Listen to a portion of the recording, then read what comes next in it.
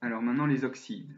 On va commencer par les oxydes métalliques qui sont donc une association d'un métal et de l'oxygène. Eh bien c'est très simple, il suffit de dire oxyde de M. Par exemple, CaO, ben, c'est de l'oxyde de calcium.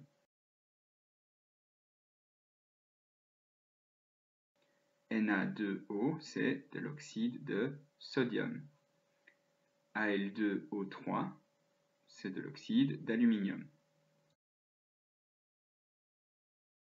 La logique est tout le temps la même. Il faut juste toujours garder en tête que quand on travaille avec des métaux de transition, eh ben, il va falloir préciser la valence. Donc, si on met FeO, ça c'est de l'oxyde de fer 2. Si on a Cu2O, ben, c'est que le cuivre est de valence 1, donc oxyde de cuivre 1. Pour les oxydes non métalliques, un peu plus compliqué, il va falloir donner un préfixe avant de dire oxyde, et ce préfixe va être déterminé par le rapport entre le nombre d'atomes d'oxygène et le nombre d'atomes de non-métal. Prenons les différents cas de figure. Si on a une molécule du style N2O, il y a combien d'atomes d'oxygène sur combien d'atomes de non-métal ben, On a un oxygène pour deux atomes d'azote, donc c'est rapport 1,5. Alors on utilise le préfixe émis. Et du coup là on dit émioxyde d'azote.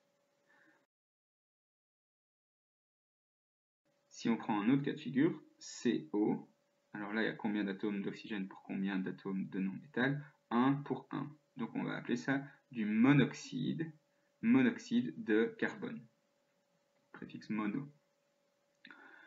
Si on a une molécule comme N2O3, il y a 3 oxygènes pour 2 atomes d'azote. Alors là, c'est un préfixe vachement intéressant. On appelle ça émitri. 2 pour 3, 3 pour 2. Donc émitrioxyde d'azote. Ce que vous rencontrerez parfois, c'est sesquioxyde. Donc le préfixe, le sesqui. Autre cas de figure, avec du CO2, molécule que vous connaissez tous très bien. Combien d'atomes d'oxygène par atome de non-métal? 2 bah, pour 1. Donc on va appeler ça le préfixe di. Du coup, CO2, c'est du dioxyde de carbone. Prenons un autre cas de figure. P2O5, bah, il y a 5 atomes d'oxygène pour 2 atomes de euh, phosphore. Donc c'est hémipinte. D'accord? Le, préfixe est hémipinte ou hémipenta dans certains cas. Et donc ici on va dire hémipentoxyde de phosphore.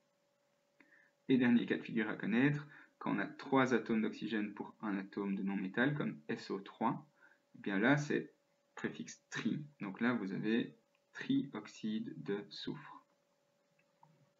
Et voilà.